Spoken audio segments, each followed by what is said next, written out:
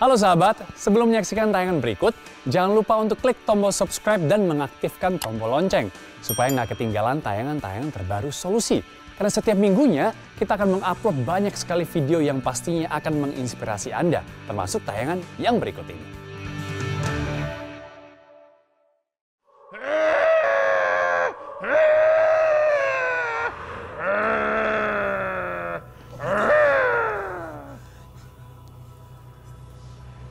Heri, Susi, ada apa dengan papa kamu di dalam sana?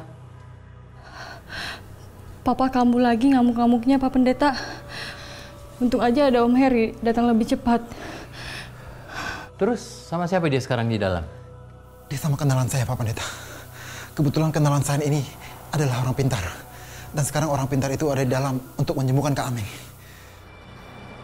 Dukun.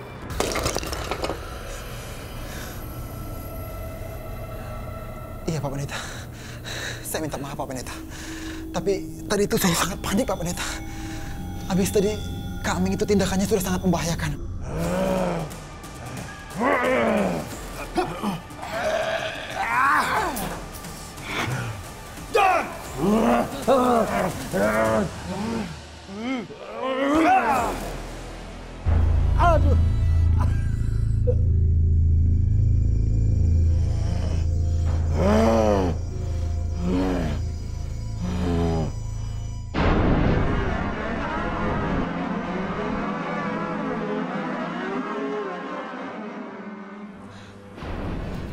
Ayo Om.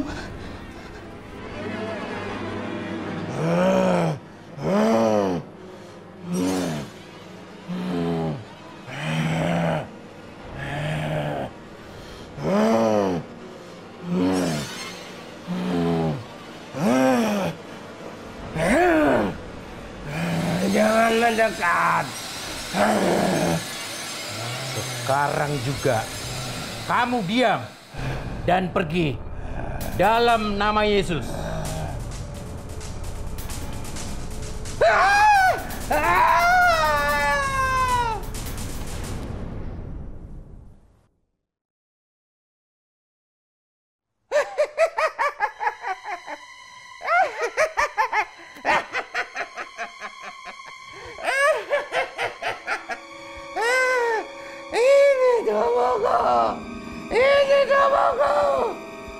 Aku bisa membunuh tubuh ini.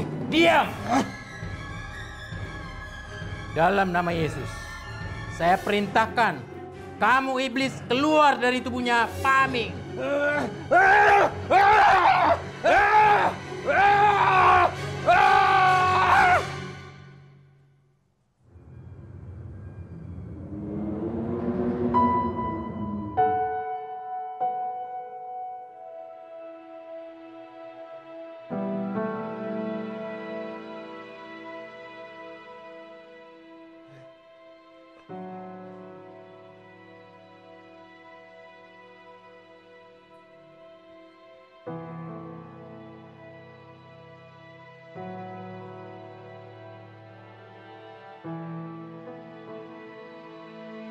Cincin ini harus dimusnahkan. Jimat ini bisa membantu usahamu agar sukses. Kalau kamu sudah sukses, kamu harus menyerahkan tumbal, yaitu dari keluargamu sendiri. Monggo.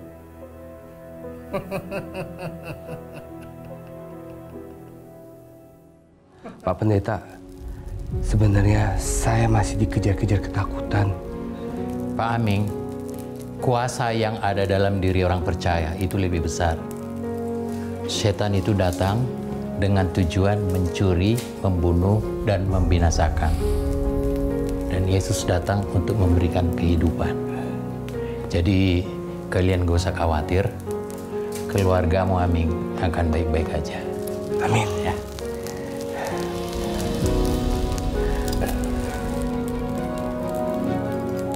dalam nama Yesus.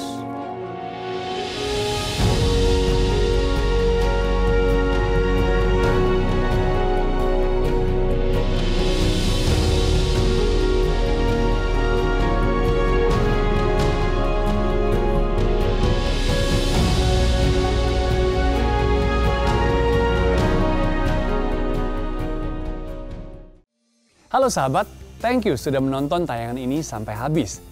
Dukung terus program Solusi dengan cara memberikan like dan juga share video ini ke teman-teman kalian. Atau Anda juga bisa mendukung Solusi dengan cara berdonasi melalui link di bawah ini. Agar program Solusi bisa terus ada dan juga menginspirasi banyak orang. God bless you.